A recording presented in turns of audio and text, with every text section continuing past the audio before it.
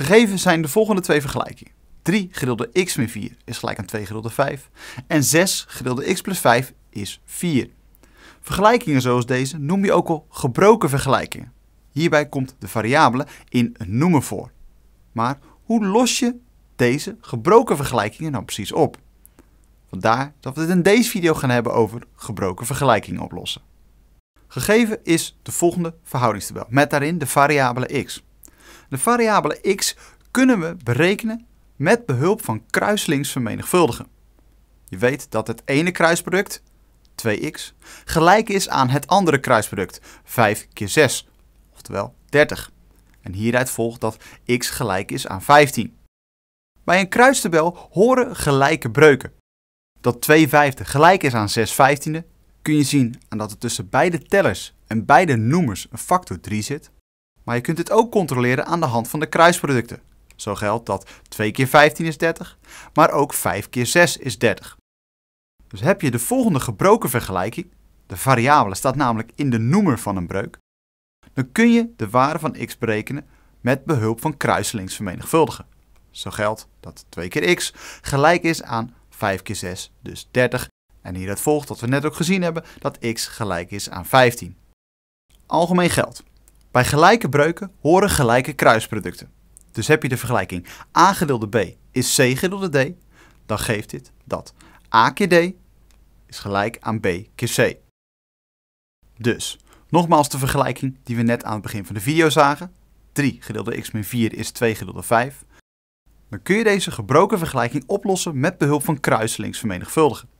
Er geldt dat 2 keer x min 4, denk daarbij aan de haakjes om x min 4, is gelijk aan 3 keer 5. Haakjes wegwerken geeft 2x is 2 keer min 4 is min 8. En dat is gelijk aan 15. Vervolgens 2x overnemen en min 8 naar het rechte lid brengen. Daar staat al 15, dus we krijgen 15 plus 8 geeft dat 2x is gelijk aan 23. Links en rechts delen door 2 geeft dat x gelijk is aan 11,5. En hiermee hebben we deze gebroken vergelijking opgelost. Dan de tweede vergelijking waar we de video mee begonnen. 6 gedeeld door x plus 5 is 4. Hoe lossen we deze op? Je ziet deze vergelijking staat nog niet in de vorm een breuk is een breuk. Maar we kunnen het getal 4 natuurlijk eenvoudig omzetten naar een breuk door deze te schrijven als 4 gedeeld door 1. Vervolgens passen we weer toe kruiselings vermenigvuldigen. En dat geeft dat 4 keer x plus 5 is gelijk aan 6 keer 1. En dit mogen we ook direct noteren als 6. Lekker de haakjes weg, dan krijgen we 4x plus 20 is gelijk aan 6. En vervolgens geeft dit dat 4x is plus 20 naar het rechte lid brengen. Daar staat al 6. Krijg dus 6 min 20 is min 14. Links en rechts delen door 4 geeft dat x gelijk is aan min 3,5. En hiermee hebben we ook de tweede gebroken vergelijking opgelost. Laten we hier nog even een drietal voorbeelden bij bekijken. De eerste vergelijking. 3 gedeeld door 10 min x is 2 gedeeld door 3. Met als opdracht los op. Je ziet, de variabele staat in de noemer, dus we hebben hier te maken met een gebroken vergelijking. En we hebben de vorm een breuk is een breuk, dus we kunnen direct toepassen, kruiselings vermenigvuldigen en dat geeft dat 3 keer 3, je mag ook gelijk schrijven 9, is gelijk aan 2 keer 10 min x.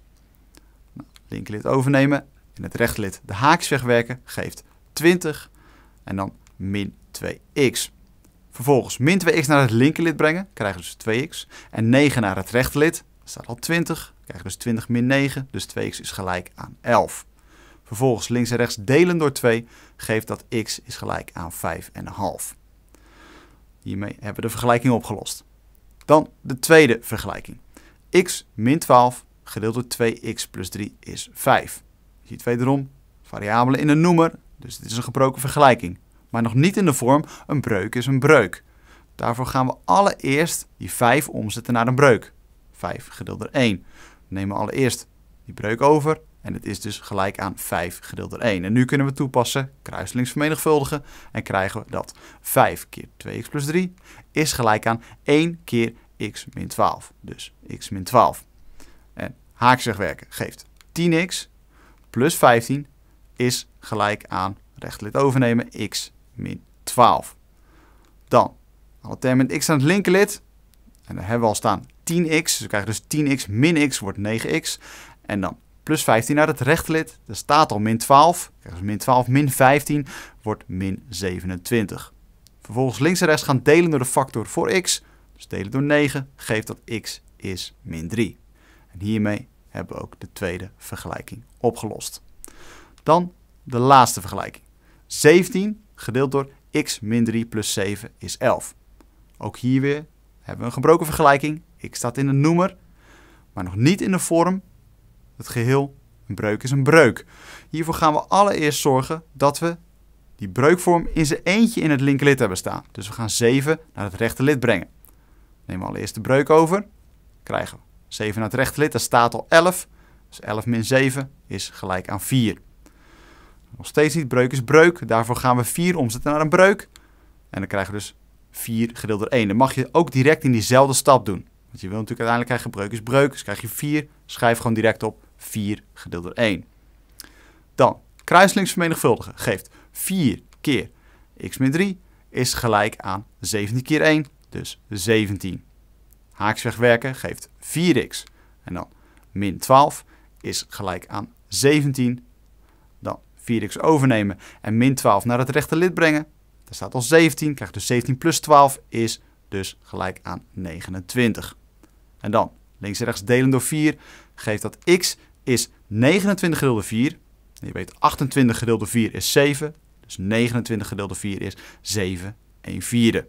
En hiermee hebben we ook de laatste gebroken vergelijking opgelost. Dus, bij gelijke breuken horen gelijke kruisproducten. Dus heb je de vergelijking a gedeeld door b is c gedeeld door d, dan geeft dit dat a keer d is gelijk aan b keer c. Dit was hem weer voor nu. Tot in de volgende video.